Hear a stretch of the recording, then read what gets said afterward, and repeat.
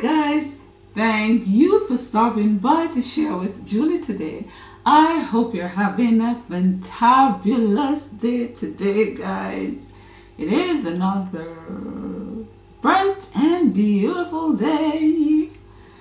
So I hope you're enjoying it wherever you are, whether it is night or day or somewhere in between.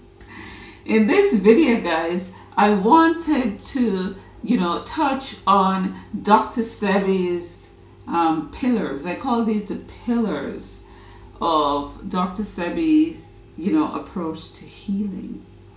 And when you look at it, because Dr. Sebi takes things down to the very basic level, you know, and that is where it really and truly need to go because oftentimes we believe we must know all the long names for this condition and that and that. I mean, that helps in terms of, um, you know, categorizing symptoms. But the very basic pillars of Dr. Sebi's approach to healing is cleansing the body and feeding the body. Those are the pillars of Dr. Sebi's approach to healing, cleansing the body of all the things that have accumulated over those years that have caused the symptoms of dis-ease to manifest itself. And so we begin to, we cleanse the bowel, we, you know, we cleanse the lymphatic system, we you know cleanse the, the body get the, the respiratory um, system functioning properly. You know cleanse the blood we cleanse the body. And we also feed the body the nutrient it needs. And one of the key nutrients of the African biomineral balance approach to healing is iron.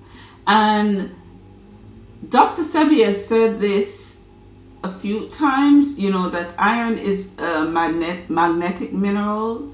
And so what you find is that plants that are rich in iron tend to have um, good portion of other minerals that the body needs, especially those, you know, um, alkalizing minerals that we need. Because most of us have enough acid already. We need those alkalizing minerals coming in. And so we feed the body.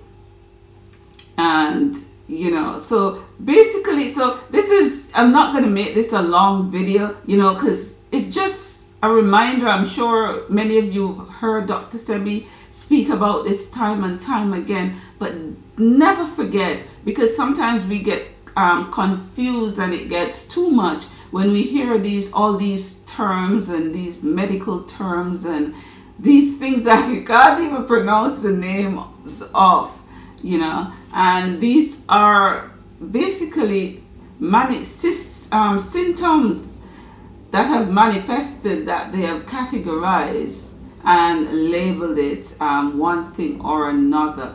But never forget that that is the focus. We cleanse the body. First, we start putting in the body the things that are um, acidic. And especially when one is in a really sick state, you know, you even have to go the extra mile if you're dealing with some really critical condition and go 100% alkaline, you know, especially in those, in those um, um, situation and so stop stop you know give feeding the body you know these highly acidic foods.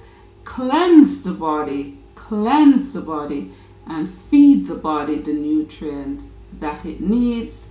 And herbs are um, you know it doesn't matter those you know you might go and you get the lettuce and you get you know these types of things but the herbs are very rich in the nutrients that we need and we can use them to help to get the body to the state of health that we need. So never forget that guys, the two main pillars, the cleansing, cleansing the body and feeding the body the nutrients it needs.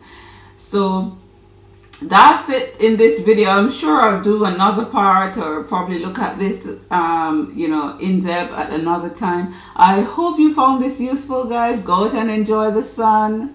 You know subscribe to my channel if you have not done so already. Please subscribe and hit that notification bell so that you're informed when i have new videos out.